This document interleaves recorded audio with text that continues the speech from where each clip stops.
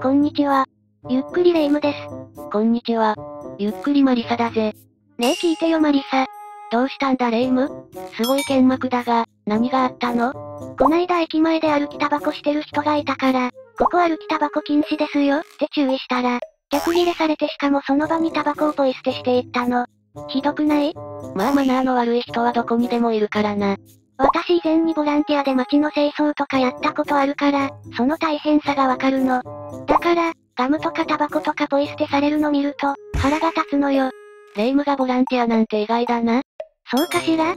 だって、ゴミ清掃に参加すると、他で手に入らない推しの限定ステッカーがもらえるって話だったから即決したわ。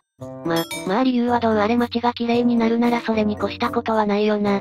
それじゃ今回はそんな綺麗好きのレ夢ムにも見てほしい、ゴミの問題。タイトルは、ゴミ屋敷住人の心理について解説していくぜ。それじゃあ、ゆっくりしていってね。レ夢ムはゴミ屋敷の主って言うと、どんな人をイメージするかな？そうね。ゴミ屋敷に住んでる人ってよ捨て人って感じかな？人付き合いもなくて社会的に孤立してるみたいな。他人から見たらゴミにしか見えないようなガラクタを集めてたりとか、ちょっと普通じゃないっていうか、変わり者のイメージね。そうだな。近所の住人とトラブルを起こしたりして、たまにニュースで取り上げられたりしてるやつだな。でも実はそれは極端なケースで、ほとんどの場合ゴミ屋敷の主は社会的に見ても普通に働いているような人で、しかも性別で見ると女性の方が多いんだぜ。そうなの？女性の方が片付け上手ってイメージがあるから、それは意外だったわ。でも確かに女性は買い物好きだし、物を溜め込んじゃう人も多いのかもしれないわね。旗から見ると普通に見える人が、実はゴミ屋敷の主だったりするのって、なんだか現代社会の闇を感じる話ね。それじゃ、いくつか具体的なケースを紹介していくぜ。まずこの写真を見てくれ。足の踏み場もないってレベルじゃないわね。壁も見えないくらいゴミが積み上がってる。ゴミで地層が形成されちゃってるわね。下の方から色々発掘されそう。つなぎの人は清掃業者の人かしら？そうだな。ゴミと天井の隙間から部屋への侵入を試みてるとこだな。やってることが清掃用っていうより、洞窟探検家とかそんな感じね。こんなの危険手当をもらわないとやってられないわ。こっちの写真を見ると、ゴミの圧力で壁に穴が開いてしまってるぜ。壁に穴が、まるで災害現場の写真みたいね。災害じゃなく人災だけどな。ちなみにこの部屋の住人は30代で稼ぎのいい OL。趣味はカメラらしいぜ。写真ってそれなりに美的センスを問われる趣味だと思うけど、その才能を片付けに活かせなかったのかしら。続いてはこの写真。ここからは閲覧注意だぜ。特にお食事中の人は今のうちにブラウザバックをおすすめするぜ。こっちも凄まじいわね。でもゴミの物量だとさっきのケースよりまだマシな気もするけど、一体どの辺が閲覧注意なのかしら？まあ、こっちの写真を見てくれ。見た感じ、大量のペットボトルの写真にしか見えないけど、私もたまにやっちゃうのよね。飲み残しの緑茶が真っ黒になってウーロン茶見たくなっちゃうの。まあそのペットボトルの量が半端ないってのはわかるけど、それがそんなに問題なのかしら？実はこのペットボトルの中身、全部おしっこなんだぜ。ちなみにおしっこが入ったペットボトルを、清掃業界では通称ションペットって呼ぶんだぜ。通称？ってことは、業界ではこれは割とよくある現象ってことなの？そうだな。部屋がゴミ屋敷化してくると、風呂場やトイレにもゴミが溢れてくることになる。当然、お風呂もトイレも本来の機能を失って、ただのゴミ捨て場と化してしまう。追い詰められた人間の思考ってどこか共通してくるものなのか、誰に教えられることもなくみんなペットボトルで用を足すようになるんだぜ。ちなみに清掃業者がカウントしたところ、この部屋からは最終的にこの手のペットボトルが1000本以上出てきた。1000本以上？ちょっとしたコレクターね。これがヴィンテージワインとかだったら人財産だけど、ションペットじゃ負の遺産にしかならないわね。私も片付けは得意な方じゃないけど、こんな状態になるまで掃除できないのはもう病気ね。ちなみにこの部屋の主はどんな人物なのかしら？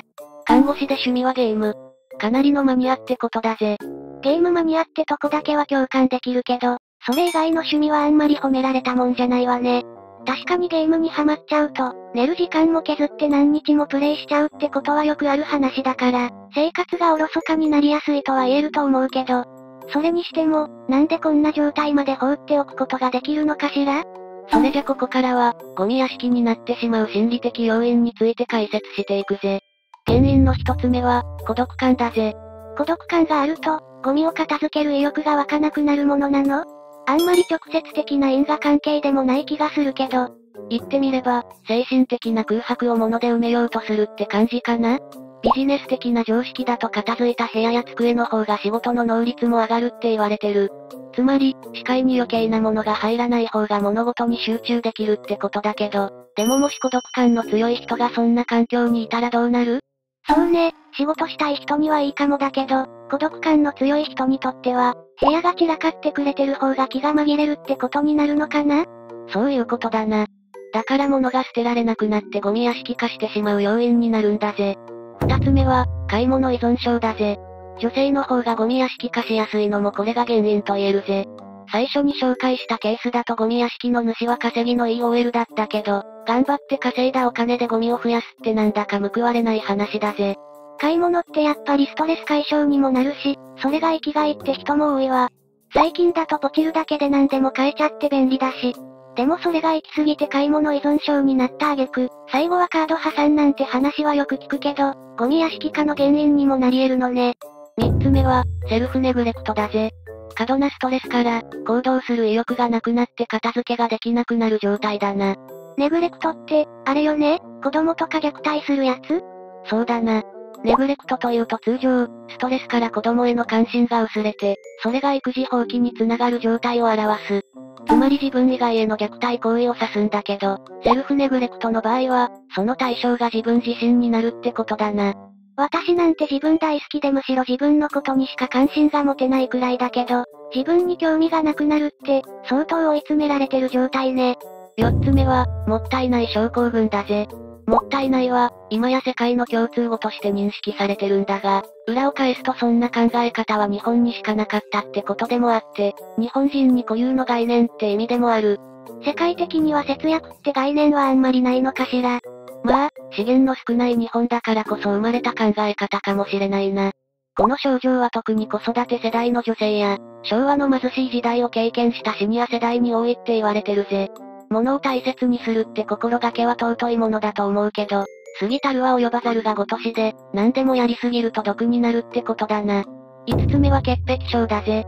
潔癖症って綺麗好きってことじゃないの？潔癖症なのに部屋が汚いってなんだか矛盾した話に聞こえるけど？それがそうでもないんだぜ。潔癖症は自分のこだわってる場所以外はあんまり気にしないから、部屋は意外と散らかってることが多いんだぜ。そうだったのね。どうも言葉のイメージにとらわれすぎてたみたいね。ちなみに似たような言葉で完璧主義の人も言葉のイメージとは違って、完璧を求めすぎて片付けに手がつかなくて部屋が汚い人が多いらしいぜ。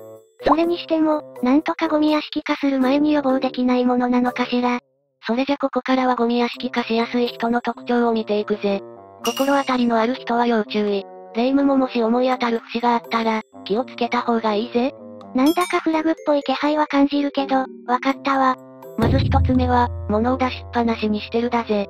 片付ける行動は習慣だから、普段からできてる人は歯磨きと同じでやらないとむしろ気持ち悪いと感じる。でも習慣化できてない人にとっては精神的に負担がかかることになるぜ。いきなり当たってるわね。